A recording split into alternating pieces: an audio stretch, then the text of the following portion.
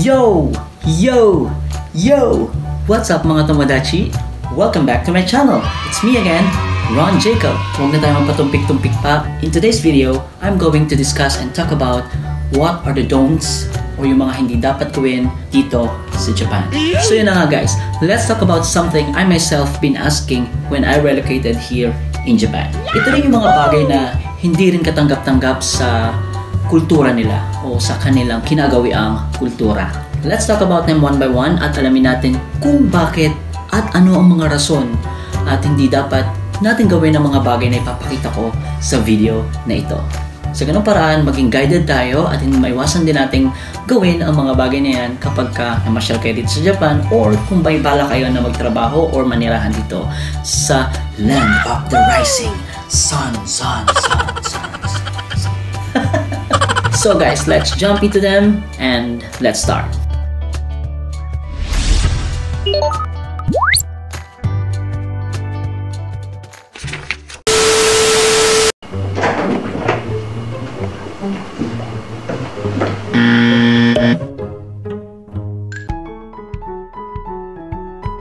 That's number one, guys. So this is one of the most important thing that we need to remember if you want to go and visit Japan. One of the main reason kung bakit nila ginagawa to is because number one, naging parte na siya ng kanilang kultura. It has been part of their culture. Number two, they believe that cleanliness is also a virtue. Kaya kung mapapansin natin guys, Japan is one of the cleanest country in the world.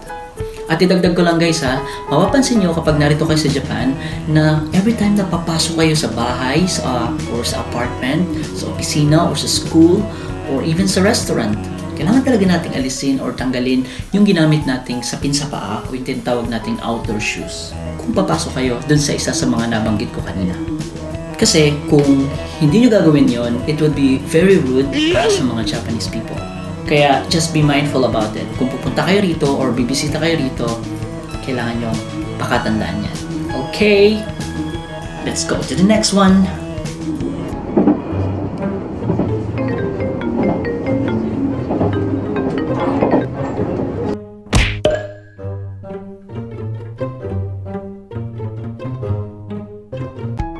Okay guys, here in Japan, they value privacy. Isa sa mga mahalagang bagay ang privacy dito sa Japan. They also value peacefulness, mindfulness, or consideration to others at uh, kung ano-ano pang may mga linas-linas na yan. Just kidding. At ayun nga, nakita nyo kanina sa video na it's a big no kung gagamit kayo ng phone in public transports, especially sa trains, buses, and other public places. It is very rude na makipaghuntahan ka or makipagkwentuhan ka. Please, never ever use phones in public transport. I would say na hindi naman talaga siya pinagbabawal or wala naman talaga siyang rule or any um, law, policy dito na ini-impose. But the thing is, Japanese people are very considerate to others. Kaya ganun din dapat ang mga foreigners kagaya natin. So just be careful. Kasi it's either na um, you will receive a disapproval look sa mga kasabay mo or kasama mo sa sa public transport na sinasakyan mo, it's very rude.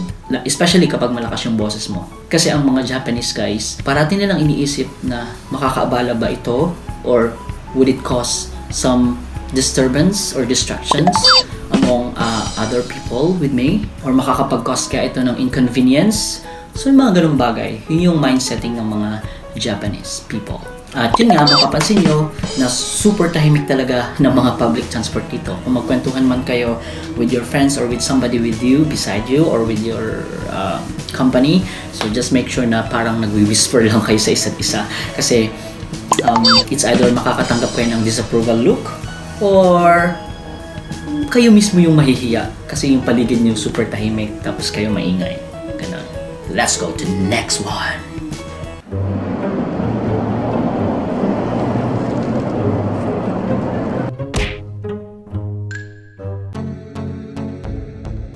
Ayun, yung video na yan ay isa sa mga bagay na guilty ako. Kasi sometimes kapag gutom na gutom talaga ako, I would rather go to a convenience store and um, buy something.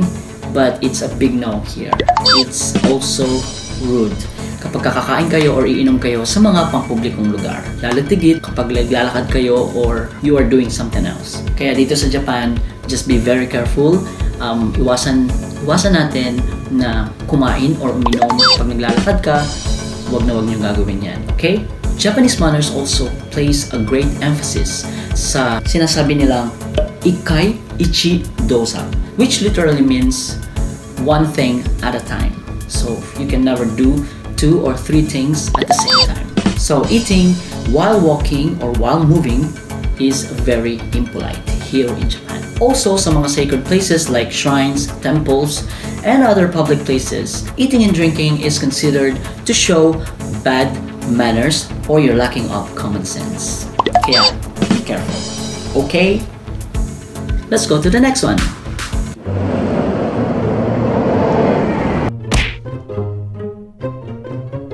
So no crossing on a red light.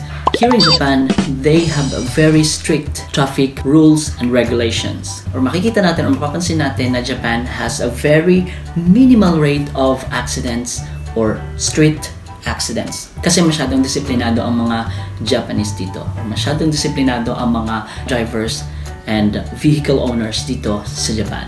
At isa rin nga sa mga bagay na dapat nating tandaan, especially kapag bibisita kayo dito sa Japan, is wag na wag kayong tatawid or never ever try to cross on a red traffic light. It's either mahuli kayo or mabigyan kayo ng disciplinary action kapag may nakahuli sa inyo. But of course, since nagto kayo sa Japan, you just have to abide the rules and regulations of traffic.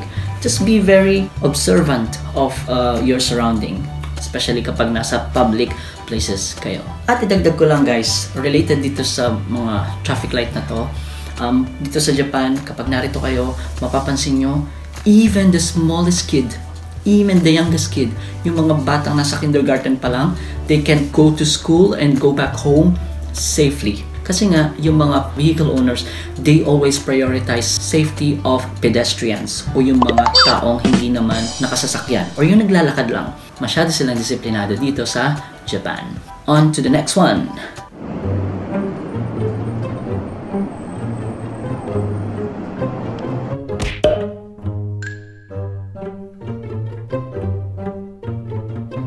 Yan guys, business cards.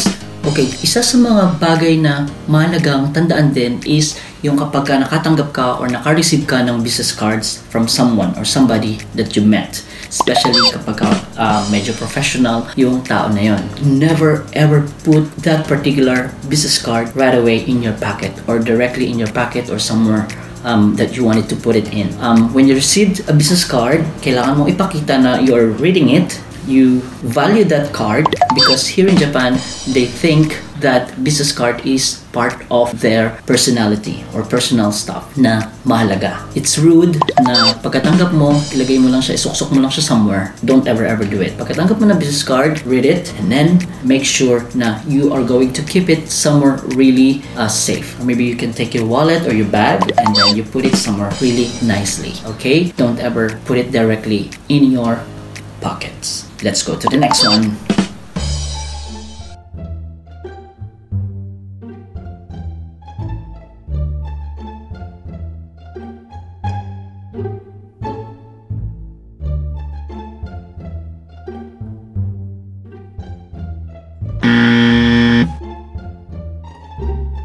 Okay, chopsticks. That's also very important. In Japan, they value the manners when you are eating using chopsticks. Never ever play with it. Never ever put your chopsticks in your food. This gesture or this act of putting the chopstick in your food is only done during the death rituals or death ceremonies. So be very mindful about it, okay? Another thing, when you're passing the food from chopsticks to chopsticks, don't ever do it uh, because it's also done during the rituals uh, or someone who died and then um, eventually um, it has been cremated and the bones you have to pass um, from family members to another family members using chopsticks. So don't ever pass food using chopsticks to another chopsticks.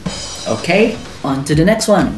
Alright, next is lines or cues. Here in Japan, mapapansin niyo talaga kapag every time pupunta kayo somewhere sa malls, shopping shopping malls or even sa somewhere na that will require you to buy or to purchase something. Okay? Um, very common na rin ang convenience store, di? So here it is a proper etiquette or a proper manner that you fall in line. Just be mindful. If someone is around the counter or the cashier or the register, na tinatawag nila is reji in Japanese, um, be careful. You have to fall in line or you have to be uh, observant or you just you just have to be aware. Even in escalators or elevators. Huwag na huwag kayo makikipag-unahan. Huwag na huwag kayo makikipagsiksikan. Dito is very, very rude. Okay? Remember, tandaan. Okay, next. Don't be loud in public. Oh, oh, oh. Or even at home. Kahit nasa bahay ka na. Huwag na huwag kang magagawa ng anumang klaseng malalakas na ingay. Japanese people value their peacefulness and consideration with people around even when you're at home or in your apartment. Kapag nasa public or kapag nasa lugar na maraming tao na mapapansin nyo tahimik lang sila, wag na wag kayo makikipag-usap ng malalakas ang boses. Don't ever ever talk loudly with someone or somebody with you. Don't shout and don't laugh really loud when you're in public, especially in public transport as well. Japanese people always want to be quiet or they always want quiet and calm places. Kaya kailangan nating i-adapt yon. Don't blow your nose in public places as well. It's better that you go to the toilet or you better go to somewhere that no one or nobody will be distracted or will feel inconvenient around you when you are blowing or sneezing. Okay? Kung talagang hindi mapigilan you're sneezing, I always see this in my workplaces. They use their arm like this and then they sneeze. This is their way of respecting and being polite to other people around them. Just remember, keep it really low. On to the next one.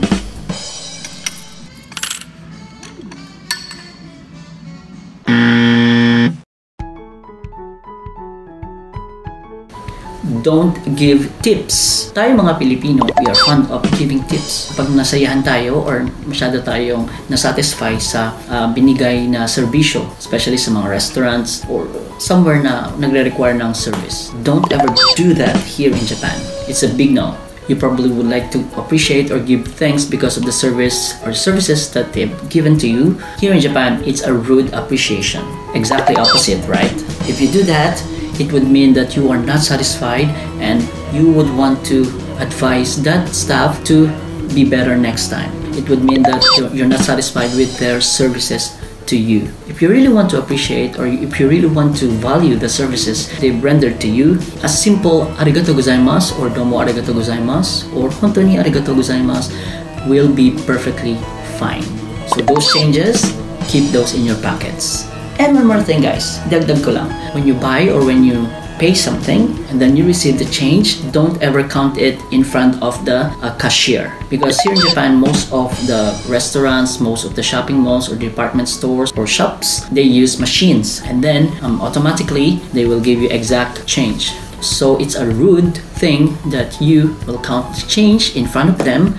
It means that you do not trust them, okay? I assure you, it's 99% accurate. It's 99% sure that you will receive exact change. So where's the 1%? It probably would be a machine error or little chance of human error, but never ever dishonesty because they value honesty here in Japan. Trust me. And last but not the least, down to the last one, don't forget to bow. bow is part of your life when you go here in Japan. When you say thank you, bow. When you say or when you appreciate something, bow. When you greet someone or somebody, when you meet someone anywhere or somewhere, bow. Or when you just respond to something or someone, bow. Don't ever forget to bow. Alright guys, that's about it with this video. Thank you so much for joining me. Thanks so much for watching this video. I do hope you learned something new today. You learned something new about Japan. So these are all my personal experiences as well as uh, curiosity which brought me to discuss this stuff in my channel. If you guys have any other questions or any uh, suggestions or comments, please don't forget to put down or write down in the comment section and I will try my best to read them and respond to them. Don't forget to subscribe, give me a thumbs up if you like this video and share with your friends to inform others in case they would want to know something about the things that you should not do here in Japan. So I'll see you again next time guys. Remember, love your life, live your purpose. Ja, mata ne!